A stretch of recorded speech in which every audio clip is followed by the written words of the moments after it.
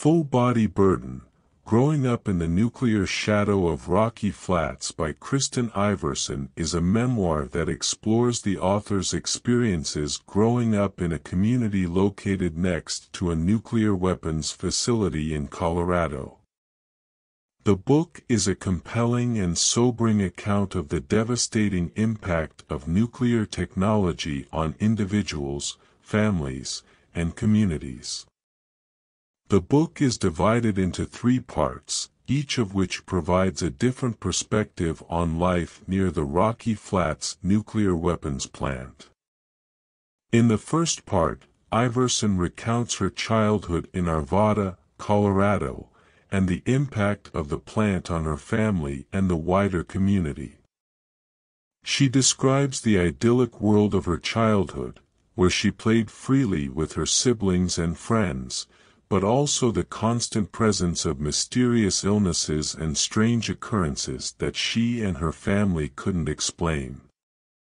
Iversen's father was a nuclear engineer who worked at Rocky Flats, and as she grows up, she begins to understand the full extent of the plant's impact on her family and the wider community.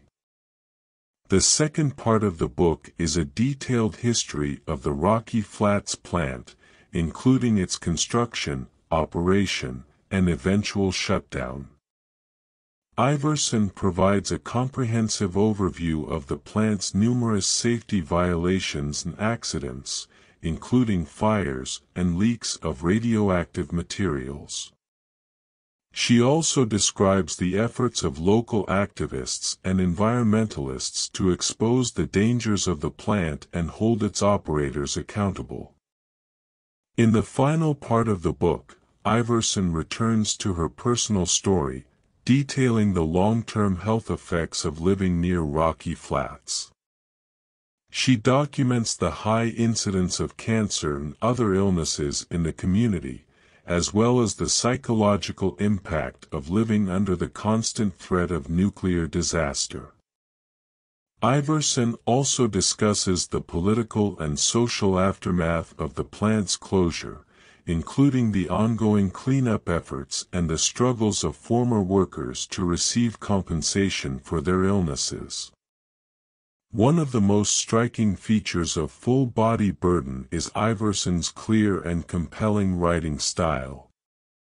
Her prose is elegant and evocative, painting vivid pictures of the people and places she describes. She also weaves together personal anecdotes with historical facts and scientific information, creating a multifaceted portrait of the complex issues surrounding nuclear weapons and their effects on human life. The book's focus on the personal impact of nuclear technology is also notable. While there are many books and articles that discuss the political and military implications of nuclear weapons, Full Body Burden provides a more intimate and human perspective. Iversen's personal story adds depth and emotional resonance to the history and science she presents, making the book a powerful reminder of the importance of considering the human cost of technological progress. Full Body Burden is a timely and important book that deserves a wide audience. It provides a nuanced and thought-provoking perspective on the dangers of nuclear technology, and the need for greater accountability and transparency in the development and deployment of such technology. It is also a poignant reminder of the resilience and strength of ordinary people who have been impacted by the destructive power of nuclear weapons, and the ongoing need for support and healing in affected communities.